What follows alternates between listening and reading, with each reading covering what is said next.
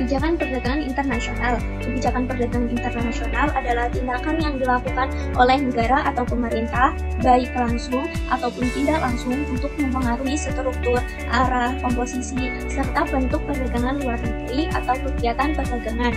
Adapun kebijakan yang dimaksud bisa berupa tarif, larangan impor, kuota, dumping, dan berbagai kebijakan lainnya. Tindakan ini dilaksanakan untuk melindungi kepentingan nasional dan mengatasi masalah yang terkait perdagangan luar negeri. Macam-macam kebijakan perdagangan internasional. Yang pertama yaitu kebijakan tarif. Tarif adalah sebuah pembebanan atas barang-barang yang melintasi daerah pabean atau custom area kebijakan tarif yaitu tarif sejumlah pungutan yang dibebankan atas suatu hal, kegiatan, kebijakan, atau apa pun yang telah diatur dalam peraturan. Dalam pemerintah, tarif diartikan sebagai pungutan yang dibebankan kepada semua barang yang melewati negara, baik keluar maupun masuk, yang diatur oleh perundang-undangan. Tarif tersebut seperti tarif ekspor, tarif impor, dan sejenisnya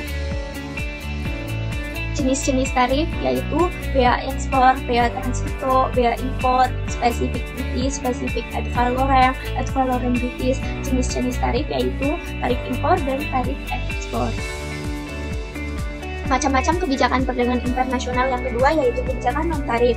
Kebijakan non tarif yaitu kebijakan perdagangan selain tarif impor yang dapat menimbulkan distorsi dan mengurangi potensi manfaat perdagangan internasional.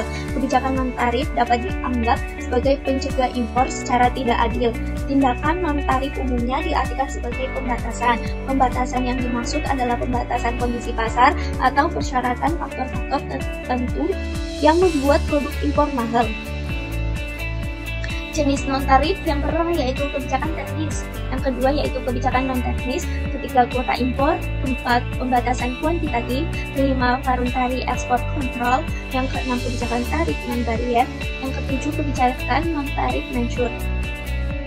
Contoh kebijakan non tarif yang pertama yaitu kuota. Kuota adalah batas maksimum dari jumlah barang tertentu yang bisa diimpor dalam periode tertentu. Yang kedua yaitu subsidi. Terdapat biaya produksi barang domestik akan menurunkan harga sehingga produk domestik dapat bersaing dengan barang impor dan akan mendorong konsumen membelinya. Yang ketiga, larangan impor. Karena berbagai alasan, baik yang bersifat ekonomi maupun politik, suatu negara tidak menghendaki impor barang tertentu.